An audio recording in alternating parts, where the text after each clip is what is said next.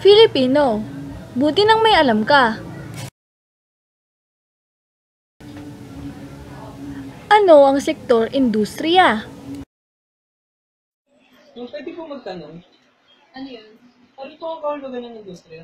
Ang industriya ay isang produksyon ng isang kalakal ng kabuhat o paglilingkod na nasa loob ng isang ekonomiya at may iba't ibang uri ito.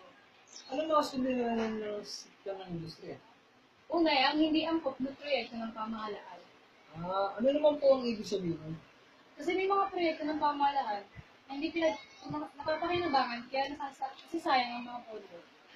Ano po ba ang maaaring maging solusyon dyan? Kinakailangan na bago sila gumawa ng aksyon, dapat akma sa proyekto, hindi kadalos-dalos na. Ano pa po? Kakulangan sa pondo at proteksyon ng pamahalaan. Ang industriya ay nangangailangan ng tulong at proteksyon galing sa pamahalaan. Ano po yung solusyon dyan sa suliranin na yan? Ah, dapat bigyan ng prioridad at proteksyon ng pamahalaan. Ano pa po ba?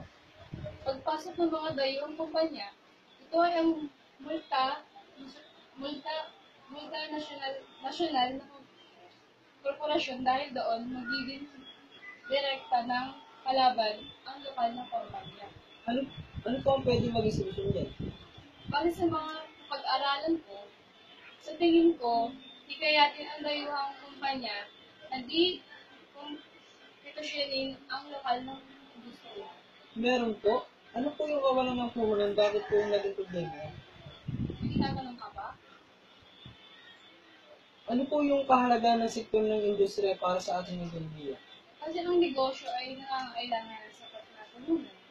Ah, salamat po sa mga information dahil po dyan, ma- marami akong natutunan at pwede ko rin po itong ibahagi sa ibang tao. Salamat po. Now you know. Credits.